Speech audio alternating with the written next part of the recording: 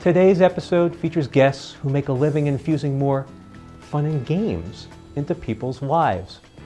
Dan Zelinsky is the owner of San Francisco's Musée Mécanique, one of the world's largest collection of coin-operated antique arcade machines.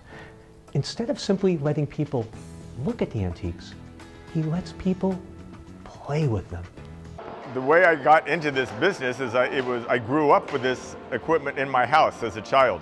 Uh, my dad started collecting, you know, before I was born. So this, I grew up with this as pretty much second nature as far as I'm concerned.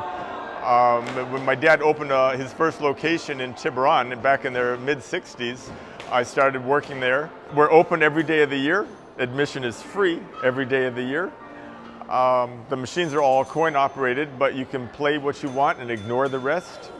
Um, it's, it's fun for all ages, regardless if you're two years old in the arms of your parents having your pictures taken in the photo booth or enjoy playing a good game of pinball. It's, it's all here. Michael McGinnis's childhood fascination with mazes evolved into inventing a new type of toy, a 3D maze game.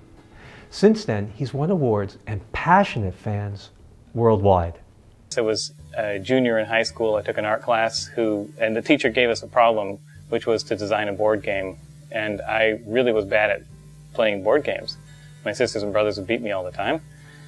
And so I thought, well, I love mazes, but I've got to think of some kind of thing which would be a game related to that.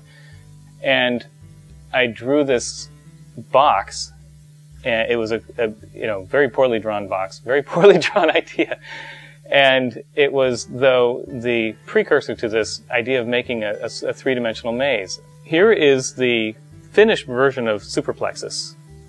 It has uh, numbers 1 through 100. My intention was to have the numbers marked with color. One thing I know is that people love to play with Superplexus. Everywhere I go, I, I show these things and I'm mobbed by people wanting to play. There's never been an issue in my mind that it would be successful.